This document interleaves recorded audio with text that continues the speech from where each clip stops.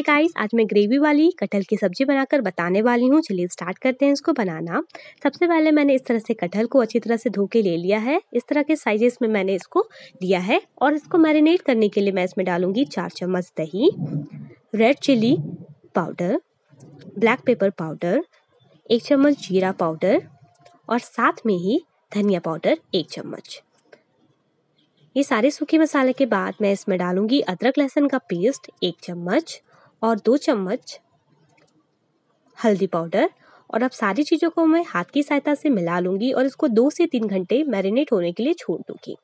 After marination मैं एक cooker लूँगी और इसमें मैं ऐड करूँगी चार बड़े चम्मच मस्टर्ड ऑयल, सूखी लाल मिर्च और कुछ सूखे मसाले जैसे कि दालचीनी, छोटी इलायची, बड़ी इलायची, तेज पत्ता और साथ में साबुत जीरा। अब इसमें एक कटा प्याज डाल दें और थोड़ी देर के बाद इसमें प्याज का पेस्ट भी ऐड करें।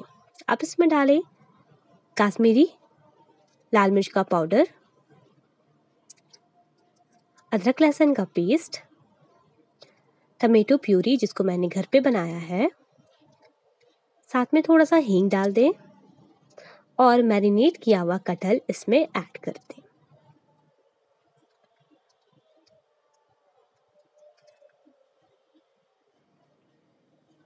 अब सारी चीज़ों को कटहल के साथ पकाएँ। इससे आपके सारे मसाले भी पक जाएँगे और साथ में कटहल भी थोड़ा पक जाएगा।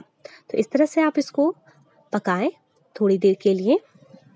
आप चाहे तो इसको ढक के भी पका सकते हैं।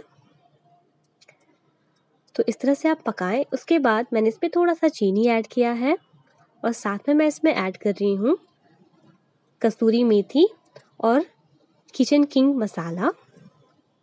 आप चाहे तो सब्ज़ी मसाला वगैरह भी यूज़ कर सकते हैं, कोई भी एडिशनल मसाला इसमें यूज़ कर ले।